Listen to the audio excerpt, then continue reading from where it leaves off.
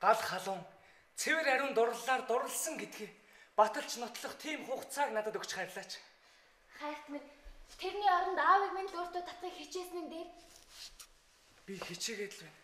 Яаж хичээж байгааг нь чи харж байгаа үстэй. Тэрний орон герт нь орж ажил хэрэгт нь оролцох ямар баг өмсгөл өмсөж ямар арга зай зохиогт тэрний бодол сэтгэлд нь нийцэх бол гэж өдөржин өөр хүний дүр тоглож байна. Гэхдээ хайрт минь ингэснийхээ хүчинд гайхалтай амжилт олсон шүү. Чи харал та. Хэр хөтлөгч. тэгвэл манай ахаас дэмжлэг авъя. Зарц хүүхэн нууцыг нь задлчих гол хинч мэдэхгүй. Би тэгэлгүй яах вэ?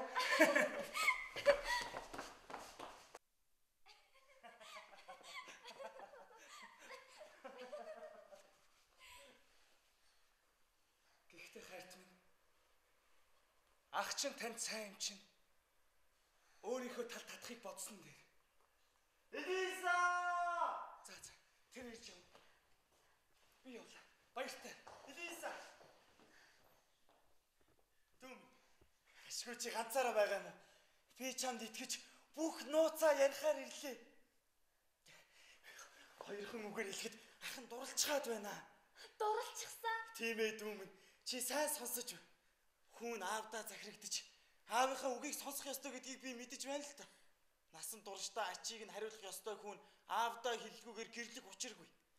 Тэгээд тэнгэрээс тэдэнд үрээ захирах эрхийн заяасан юм чинь.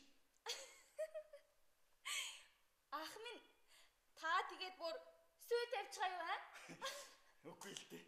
Гэхдээ би бүр шийдсэн. Харин чи намайг хориглох гэсний хэрэггүй шүү. За би тийм уулгуу гэж юу? Та тэгээд хин сэтгэлдээ басна ярил л та.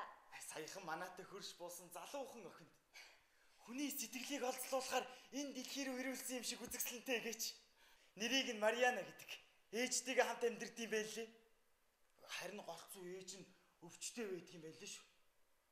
Тэр бүсгүй ээжигээ хайрлаж, асарч, инэрч хамгаалж байгаа алийг нь ч харсан. Үнэхээр сайхан харагдана. Та сэтгэлдээ босноос хойш сайн л охин байж таарна. Дүүм. Гэхдээ тэднийх дөнгөн данхан ам зогоодог гэдгийг би сая хүнээс сонслоо л доо. Чи боддоо ийм амьдралтай хүмүүст өөрсдөнд нь мэдгэдэггүйгээр тусалвал тэр хүмүүс хичнээн их баярлах болов. Тэгтэл аавын энэ балиар харамч зангаас болоод би сэтгэлээ ойлгуулж чадахгүй байгаа нь даанч харамсалтай байна. Тэгвэл тэгвэл би туслая л та ахаа. Харин яаж туслах вэ?